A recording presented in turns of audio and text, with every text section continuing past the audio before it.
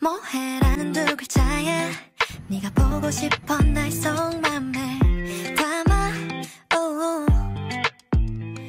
Xin chào mọi người, lại là mình đây. Hôm nay mình có một cái vlog đi dinh độc lập. Lúc đầu thì không có tính quay nhưng mà cái cảnh nó quá đẹp cho nên không quay thì nó rất là tiếc. Giá vào cổng thì cũng rất rẻ nha, 45k cho sinh viên. Mình cứ nghĩ là ở trong đây nó rất là vắng nhưng mà không ngờ là nó đông đến vậy. Với lại khi mà vào đây thì các bạn hãy trải nghiệm cái audio nghe thuyết minh Giá là 90 ngàn cho một người nhưng mà nó rất là đáng luôn. Khi mà bước vào những cái phòng này là mình bị choáng ngợp bởi cái kiến trúc và cái sự xa hoa của nó. Nhưng mà mình quên note lại những cái tên phòng cho nên giờ mình không còn nhớ đây là cái phòng nào nữa. Hình như là phòng nội các hay sao á Em chỉ mới đến đây nên đâu có biết được anh là ai. Anh đã đi theo em rất lâu mặc dù anh biết điều đó là sai.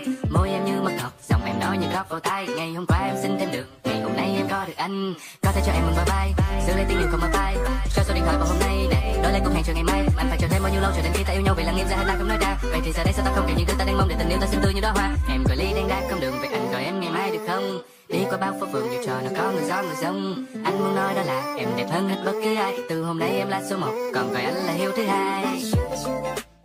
Giờ thì mình sẽ đi lên lầu để mà tham quan thêm nhiều phòng hơn đây là phòng Trình Quốc Thư và đằng sau đó chính là bức tranh sơn mài lớn nhất chỉ ở Việt Nam, Bình Ngô Đại Cáo của họa sĩ Nguyễn Văn Minh. Đáng lẽ là đã nhiều năm như vậy rồi thì những cái vải vóc sẵn sàng ở đây nó phải trông cũ kỹ chứ ta. Nhưng mà mình vẫn thấy màu của nó rất là tươi nha. Ở tầng trên cùng thì sẽ có một cái khu vườn nhỏ như vậy mà cái khu vườn này thì gọi là gì ta? Mình không có nghĩ là gia đình tổng thống sống ở trong dinh độc lập luôn nha trời. Đây chính là phòng ngủ của tổng thống đó. Còn đây là phòng ăn của tổng thống phu nhân. Nhưng mà trong cái phòng này có một cái bức tranh nó rất rất là kỳ luôn. Là cái bức tranh ở trên tường này nè mọi người. Cảm giác nó rất là khó chịu luôn, không hiểu sao nữa. Mình nhìn vào thì mình tự nhiên liên tưởng tới ngay một cái dũng máu. Không biết đây có phải là bản gốc hay không nữa. Và đây chính là chân dung của phu nhân tổng thống. Đố mọi người cái bức tranh này đang vẽ ai? Ai mà đoán là thúy kiều thì xin chúc mừng nha. Đúng rồi á. Trong dinh độc lập thì còn có phòng chiếu phim và phòng giải trí nữa. Ở trong cái phòng giải trí này có các bạn bạc chuột nữa mọi người. Và cuối cùng đó thì mình cũng đã leo lên được tới sân thượng. Trời ơi, cái đôi chân của mình nó rã rời luôn á. Giờ mới biết là ở trên nóc dinh độc lập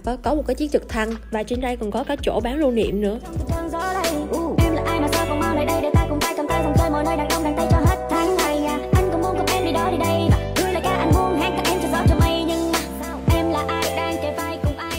Khúc này á tự nhiên á mình tưởng tượng ra có ai ngồi trên ghế này nè. Trời ơi tự nhiên cái nổi da gà hết trơn luôn. Nên thôi sợ ma quá nên mình quyết định đi về với lại cũng tới giờ rồi. Tầm 4 giờ bốn rưỡi là người ta bắt đầu khóa những cái cửa chính cho nên mình phải đi xuống từng hầm rồi mình mới vòng ngược lên trên. Lúc này mà tự nhiên đèn nó chớp tắt chớp tắt một cái chắc tôi xỉu ở đây luôn á mọi người. Thế là hôm nay mình đã tham quan hết được dinh độc lập rồi. Và địa điểm tiếp theo đó sẽ là bảo tàng mỹ thuật thành phố hồ chí minh. Cảm ơn mọi người đã coi hết cái clip sản xí này của mình nhé. Thôi bye bye mọi người nha